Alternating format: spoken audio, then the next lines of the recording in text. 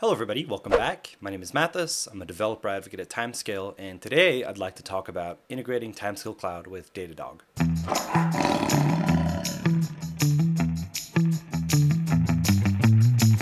If you've used Timescale Cloud before, you will know that you can inspect your service's CPU, memory, and storage utilization by going to your Timescale DB service and clicking on the Metrics tab.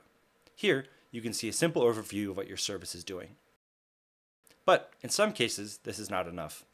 Whether you have other metrics on Datadog that you want to visualize alongside your Timescale Cloud metrics, visualize the metrics of multiple Timescale Cloud services together, or want to set up alerts, we have you covered with a new Timescale Cloud Datadog integration. Do note that an integration for AWS CloudWatch is also available. In this video, we'll cover how to set up your Timescale Cloud Exporter and integration, alongside your Datadog API key and metrics dashboard. To follow along with this video, you'll need a Datadog and Timescale Cloud account. If you don't have a Timescale Cloud account, go to timescale.com and get a 30-day free trial. So let's get started. In order for our Postgres exporter to be able to send the metrics to our Datadog metrics dashboard, we need to create an API key and add it to our Timescale Cloud integration.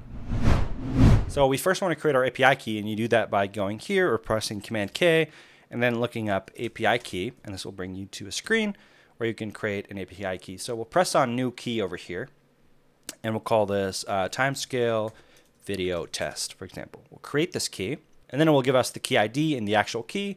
We can click on copy key. Then we'll go to our services inside Timescale Cloud, and what you want to pay attention to is the region of your services. An integration and service have to be in the same region for them to be able to be attached. Uh, so we know here US East 1. Uh, we'll then go to integrations here, the tab on the left, and click on Add Exporter. Here we want to select Datadog, and select our region. We know this is US East 1. Obviously, there's other regions. Uh, then we'll name our exporter, and we'll call this um, timescale test, for example. Then our Datadog API key, which we just created. So we'll paste this.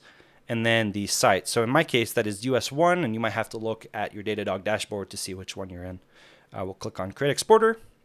And then in our service, we'll click over here, then go to the Operations tab, then to Integrations on the left, and then we want to select an exporter. So this is a Datadog exporter called Timescale Test. This is the one we just made.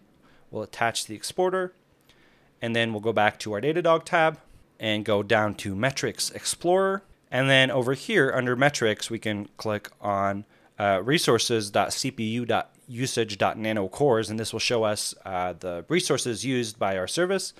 And then here in the from field, you can query out the service that you want. Uh, and you get your service ID by going to your Timescale Cloud tab, clicking on Overview, and then the first uh, part of your host is your service ID.